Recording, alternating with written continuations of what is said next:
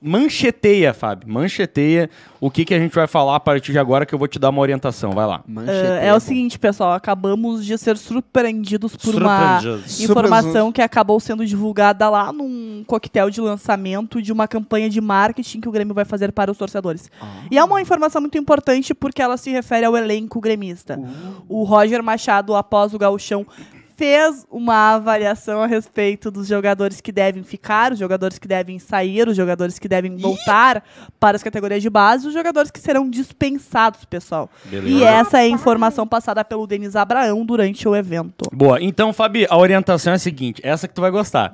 Eu te falei que tu ia gostar. Vai atrás de informação, pode Eba. ficar com o celular aberto.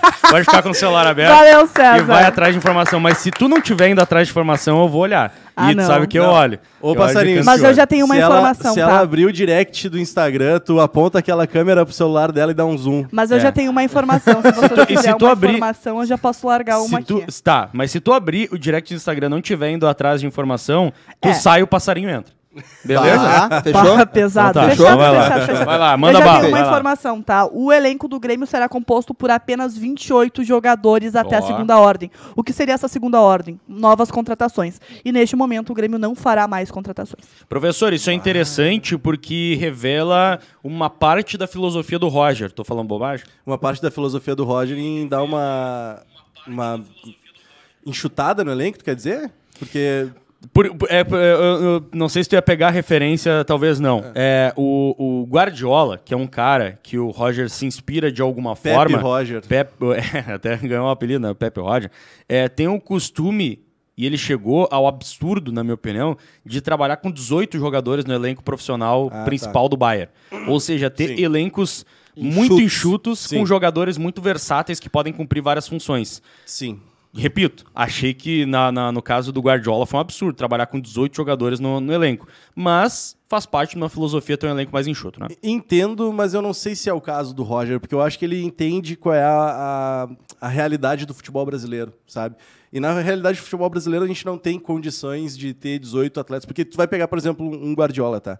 Uh, ele vai querer trabalhar com 18 jogadores no elenco e os jogadores ocupam mais de uma posição. Mas quem são esses jogadores? É um Felipe Lan, por exemplo. É um Sané. É, tipo, são jogadores Sim. que, bah, se tu precisar botar na lateral direita, beleza. Se botar na esquerda também, beleza. Se jogar de volante também tá ótimo, porque o cara é realmente de outro nível.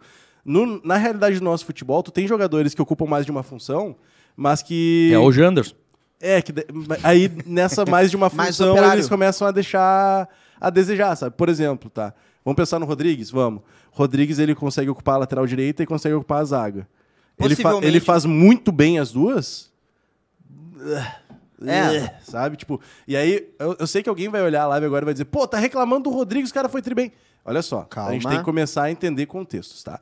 O Rodrigues cumpriu a sua função. E ontem, aqui na discussão do Papo Pachola, por exemplo, você falou muito sobre ah, quem vai ser o lateral direito titular da temporada e tudo mais. Gente, o Rodrigues, ele, ele literalmente tapou um furo. Ele literalmente tapou um furo. O Orejuela não jogou nada, estava comprometendo. Aí o que, que fizeram? Pegaram o Rodrigues, botaram na direita e disseram: não sobe. Fica aqui, me ajuda a marcar. Se a bola chegar, tu dá dedão e já era e nós vamos ganhar essa, esse campeonato. E foi literalmente o que o Rodrigues fez. O Rodrigues não é um lateral de chegar na linha de fundo, fazer o cruzamento, achar o Diego Souza, pipipi, popopó. Esse não é o Rodrigues. Vocês não viram o Rodrigues fazer isso. Vocês viram o Rodrigues marcando, como quase se fosse um terceiro zagueiro. Então, é literalmente essa função que o Rodrigues teve em uma, em uma construção pontual de time, tá? E eu sou muito grato, porque algum, alguém vai pegar isso que eu estou dizendo e vai dizer, ah, então tu não gosta do Rodrigues. Olha só, eu não gostava do Rodrigues na zaga, mas eu consigo reconhecer o quanto ele conseguiu fazer muito bem o trabalho dele, entendeu? Ele conseguiu fazer muito bem o trabalho dele. Mas eu não espero, por exemplo, o Rodrigues virando de fato um lateral. Eu não sei, eu não sei se ele é capaz disso. Eu, eu discordo, posso, eu e, e, e eu vou dizer para vocês, eu posso estar errado, e se eu, e se eu tiver errado, eu vou mudar de ideia sem problema nenhum. Eu não vou morrer abraçado Hipócrita. nisso, entendeu?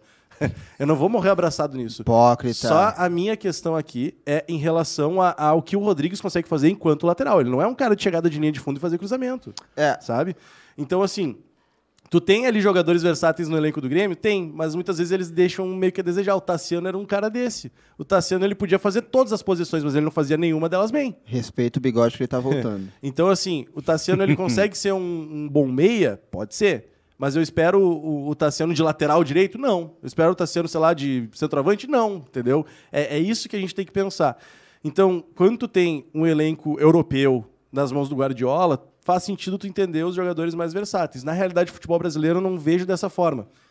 Só que a questão é, por que, que ele deu uma enxutada, por que, que ele está tentando dar uma enxutada no elenco?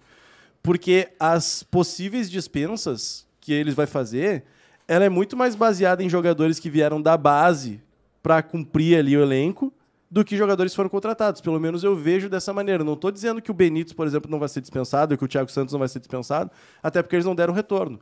Mas nessa lista de dispensas, e a gente vai abrir depois para dar uma especulada, provavelmente vai estar o Gustavo Marins. E aqui, por favor, entendam o que é dispensa, tá? Retornar para transição, não estar no profissional para esse 2022. Um Gustavo Marins, um Heitor, um Thiago Rosa. Eu imagino esses caras retornando para transição. Não imagino esses caras ficando toda a temporada. Então é isso que pode estar acontecendo, César. Não sei se exatamente é um pensamento do Roger ou se é simplesmente o Roger vendo e dizendo assim: ó, bah, meu, vocês só me entregaram gurizada, meu. Se é só para ficar com gurizada, eu não vou ficar com 40 jogadores no elenco. Vou dar uma diminuída, então, vou ficar com menos gurizada, mas vamos fazer um elenco que vai rodar um pouco melhor aqui. Eu imagino é. que possa ser dessa maneira. É, eu concordo em partes com o professor, tá? Primeiro que eu acho que Rodrigues. Rodrigues vai ser o novo Mário Fernandes. Rodrigues bem treinadinho seria um baita lateral. Baita lateral. Cara, o Wanderson é, já é, foi é o Cafu, o Rodrigues contra. agora é o Mário Fernandes. É, eu sou meio contra ficar fazendo essas comparações, porque eu acho que é um peso até desnecessário que tu coloca em cima do próprio jogador. Mas é que eu sou comediante, daí quem leva a sério o que eu falo é tá de parabéns. Tá. Porra, tá de sacanagem, né, Maravilhoso. Né, eu levei a sério, desculpa. Vamos, vamos, fazer só um negócio, já que a gente tá aplaudindo, vamos aplaudir mais uma vez a chegada dela! FNP. Grande! Enquanto o passarinho, passarinho tá para de comer. FNP. FNP.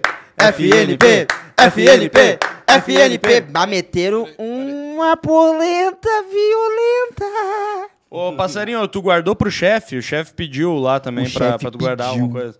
Tem alguma coisinha ou não? Não, é, é isso aí. É isso aí, tá? Olha então, só, deixa eu ver que gostei. Então vamos ter que só